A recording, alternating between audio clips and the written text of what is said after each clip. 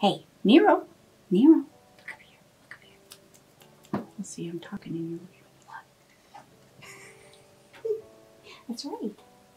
That's right. We're doing videos. Okay? All right? Cat boss? Cat boss? Yes, you're a good boy. so this is my cat boss, Nero. If you guys haven't met him yet, he is a wonderful, wonderful boy, but he is hard to chainmail around. anyway, hi, I'm Christiane Ross, and you've met me again on Octopus Do. Welcome back. Today's video is going to be a continuation of the series of the European 4-in-1 and what we're going to do today is take two pieces of the European 4-in-1, two separate pieces, and I'm going to show you how to put them together and zip it up. So it's really a way of looking at your pieces and figuring out which direction everything goes and uh, learning how to put those together. So for this tutorial, let's get started.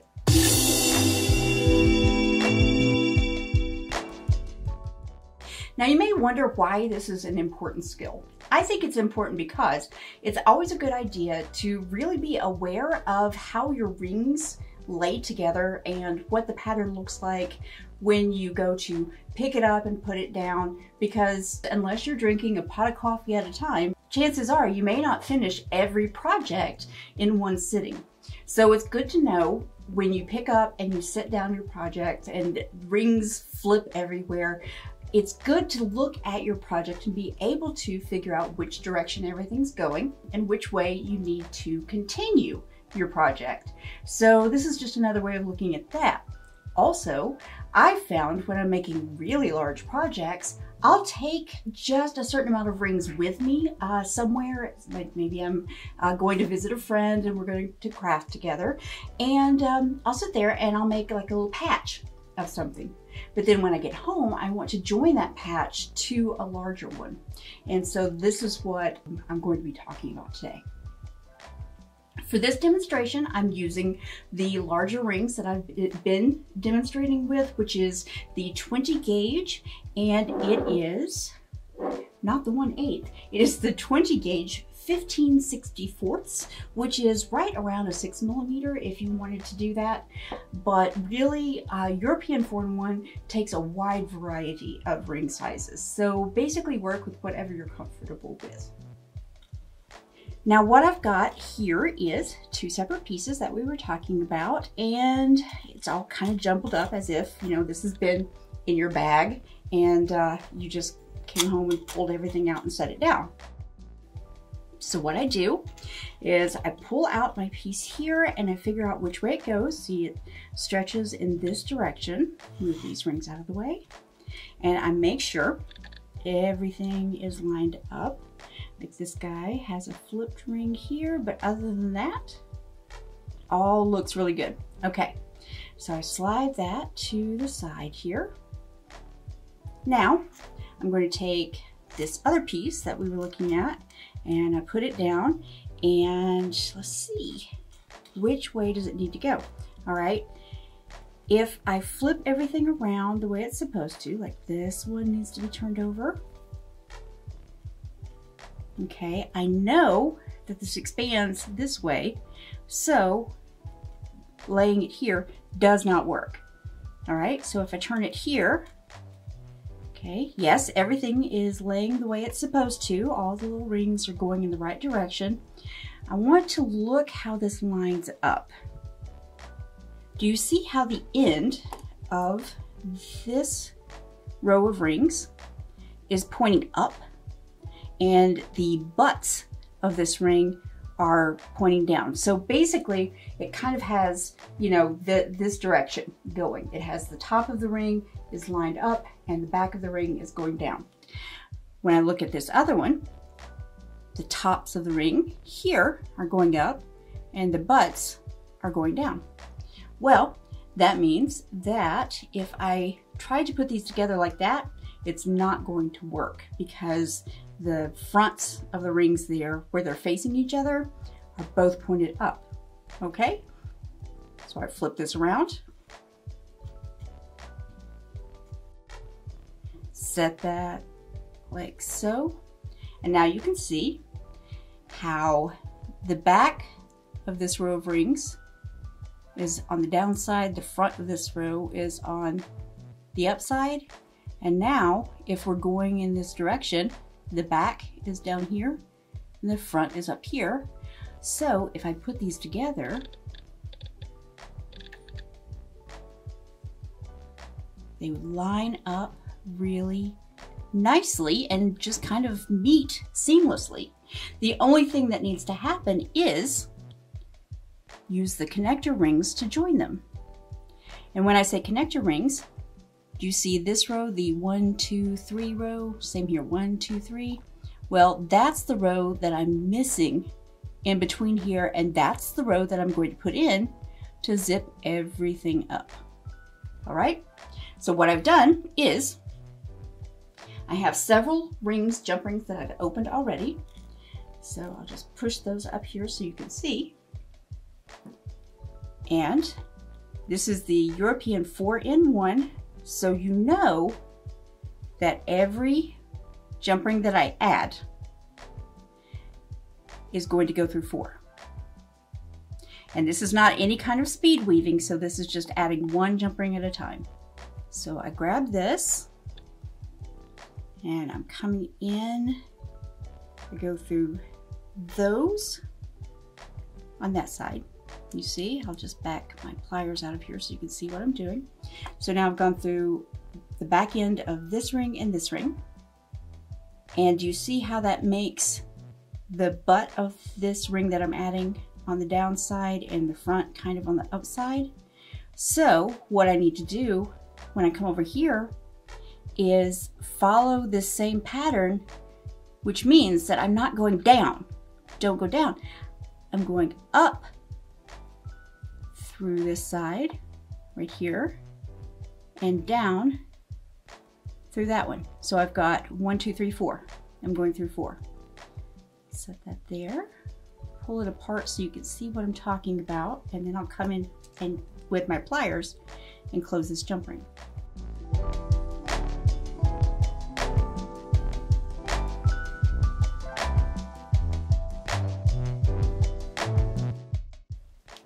Stretch this out so you can see what just happened. By adding that jump ring, that set of rows is now seamless. It's all joined together. The next jump ring that I'm going to add is going to go through there. One, two, three, four. So I'm corkscrewing in. So one, two, and then up, three, and it's it's up and over, three, four. Now I look because you see it got a little jumbled up while I was moving everything around. I'm going to look at it to make sure I'm not going through any rings that I don't want to be. Only going through those four. One, two, three, four. Oops, slipped out.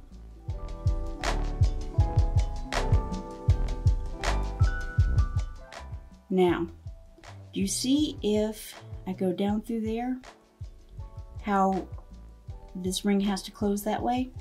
Well, I basically kind of painted myself into a corner. It's hard to get my pliers in there. So what I'm going to do is I'm going to pull this back out.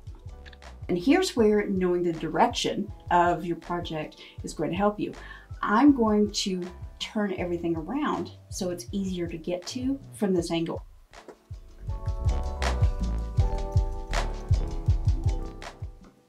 So I come in with my jump ring here and I'm going up and over in that corkscrew. So one, two, and then over here one, two, three, and four.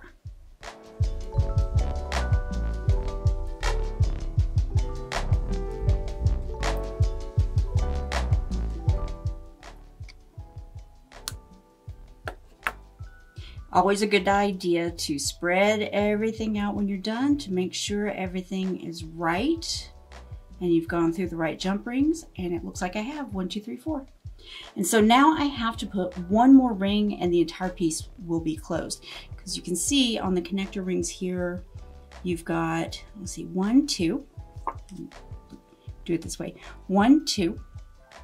Over here you've got one, two, three.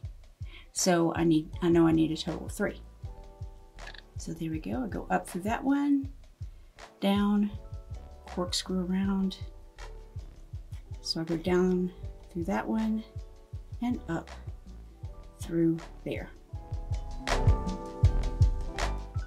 And if you get turned around, it's always a good idea to just take everything out before you close it because it's harder to figure out once you've closed a ring in the wrong place. So that got all bunched up. So I'm going to start again. I go one, up one, over, two, down is three, and up is four.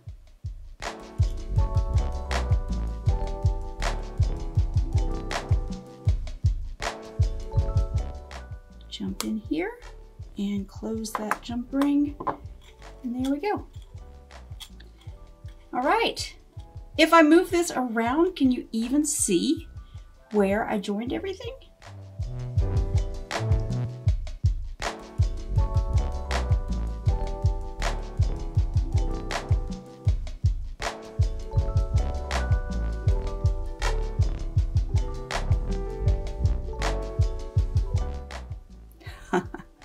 well, I think I was working over here, but looking at this piece, I can tell I have made a mistake here. Can you guys see it? I'll just hold this here for a second and let you see if you can figure out what's going on. I don't know when and where that happened, but I'll go ahead and fix it real quick and let you see the process of doing that. So basically what's going on here is I have lost a row around here somewhere. So the first thing that I'm going to do is flip this over so that that side is closer to me. And do you see how losing that little bit of a row there has made this piece curve? Well, inadvertently, I've shown you kind of how um, adding uh, expansions and contractions work. All right, the piece that's messed up is right here because I have, well, I have this ring and look how many rings it's going through. Or, yes, look how many rings it's going through. One, two, three, four, and five. All right, that's not right. So what I'm going to do is take that out. And yeah, I'm weave, I'm going just right in the middle of the weave here, opening that up and using that corkscrew technique to take it out. All right, now you see I've got a big hole here. So I pretty much just come in here and open this one and that opens up that entire weave. So I can come in and fix it. Glad you guys are here with me for this. It's an unintentional lesson, but hey, it works. It's a good one to learn. Looking at this, at the rows, we have one, two, three, four rings here, which is good. Then one, two, three, that's perfect. All right. Then one, two, wait a minute, sorry. Yeah, one, two, there should be three here and four, which is one off the end. So three, goes through, and it should be going through four jump rings, but because I'm missing part of this, it's only going through three right now, but we'll fi fill in that fourth.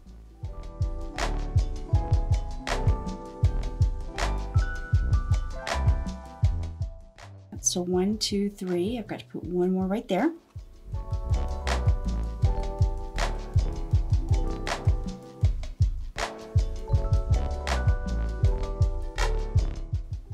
So now that row is complete. One, two, three, four. So this row, the connector row, is one, two, I need three right there.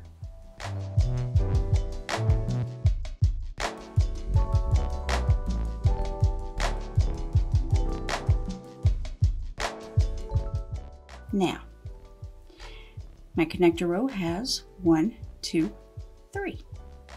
Now, look at this. One, two for the next row. Three is going to go through those four.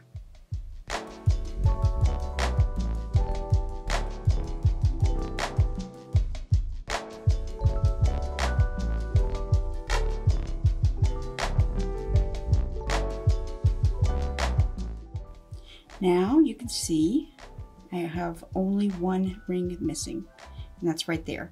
So it's the rest of this row. See, one, two, three, four goes there.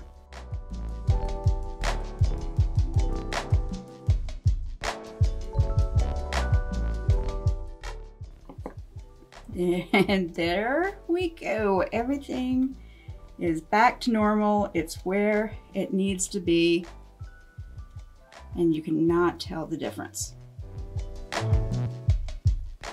Flip it over. Can see it expands this direction.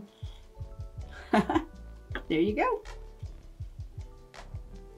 Well, I hope you enjoyed this impromptu lesson. We started out talking about just taking the two pieces of the European 4-in-1 and zipping them up with connector rings, but ended up fixing a problem that I hadn't seen before. So it's always a good idea to look everything over before you start making a video or looking everything over in your project to make sure that no matter how confident you are, that it's done right. I hope this tutorial helped you in seeing what the weave looks like and being able to tell if something's wrong. If you liked this video, I know it was a quick one, give me a like uh, leave a comment below and don't forget to subscribe. Once you've subscribed, you can always hit the notification bell so that you know when the next video is coming out. I hope you've enjoyed these European 4-in-1 chainmail tutorials. Until next time, go make something.